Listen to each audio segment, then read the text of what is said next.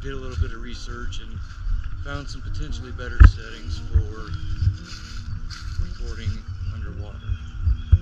So we'll see how it goes.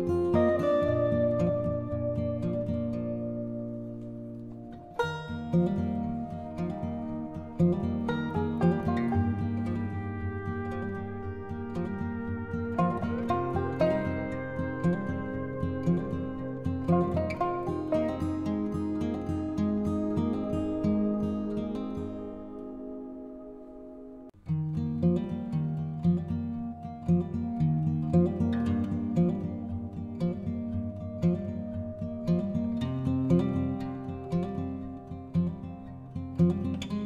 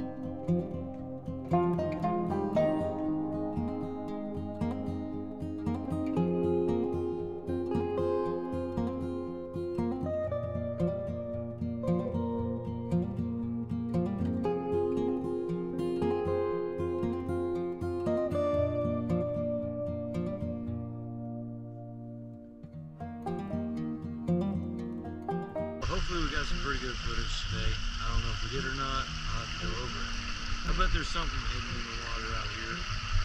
For as small as this creek is, it's a lot deeper than I expected it to be. Can't wait to find out.